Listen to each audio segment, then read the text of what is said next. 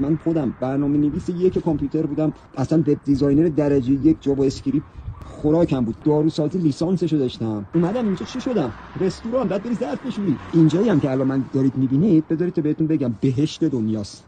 بهشت دنیا کجاست؟ سوئیس. چی شد؟ بلند شدم اومدم این. چرا اومدم؟ BBC Persian بود رادیو فردا بود.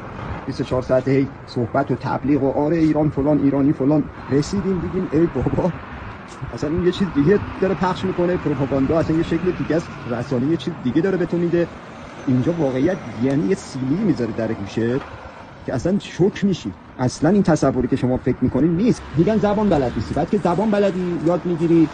میگن خب مدرک نداری. بابا دارم اینا. نه این مدرک نه باید بری از همین کشورها مدرک بگیری خب بریم بگیریم. همه این کارا رو می‌کنه آخرش میگن می‌دونی چیه؟ اقامتت مثلا فلان چیزه. میگه باش میرم دائم می‌گیرم. میری باز دائمه رو می‌گیری. میای باز میگن می‌دونی چیه؟ مال ایرانی. تو می‌دونم یه مش آدمای به درد نخور هستن اونجا. فلان اذیت می‌کنن. ولی اذیت اونا سگ شرف داره به اذیت یه دونه اسکلی مثل این اروپایی‌ها که نتونی بهش بگی تو الکی پاتونو بیرون نذارید من بر نمیگردم. چرا؟ چون اینجا دیگه پوستم کنده شده زندگیمو با بدبختی ساختم نگه داشتم. الان برگردم اونجا باید دوباره از صفر شروع کنم. گذاشتم سر پیری برگردم کشور خودم. سرم اونجا بذارم بمیرم فکر نکنید این چه آش دنسوزیه یه جوری اصلا ببین پول تو جیبت نمیمونه. پولشونو نمی‌ذارن